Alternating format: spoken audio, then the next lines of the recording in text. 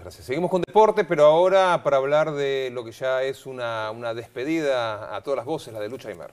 Me salía la palabra leyenda, Ale. Creo que no estamos equivocados, ¿no? La mejor jugadora de la historia del hockey que dio nuestro país, la mejor jugadora del mundo por décadas, o al menos por una década y algunos años más. El Lucha Aymar que dice adiós a la selección argentina. Esto será en el Champion Trophy que se va a desarrollar entre noviembre y diciembre y será en nuestro país, en la provincia de Mendoza.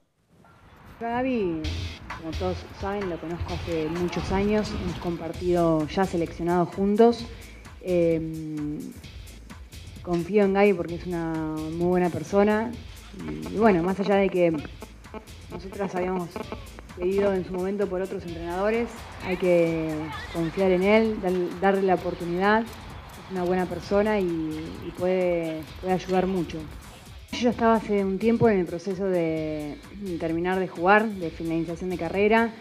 Eh, y, yo pensaba que quizás el Mundial podía ser mi último torneo, pero siempre también tenía la ilusión de jugar mi último torneo en, Argentina con mi gente.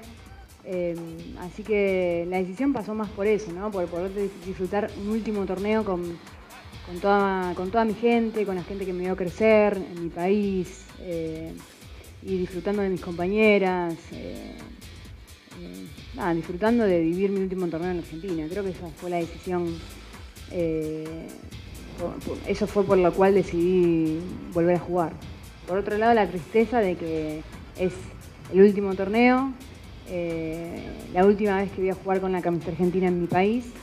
Y, eso te genera melancolía. Melancolía porque, bueno, como dije antes, uno le dedicó toda la vida a, un deporte que, lo amé y que lo voy a seguir amando.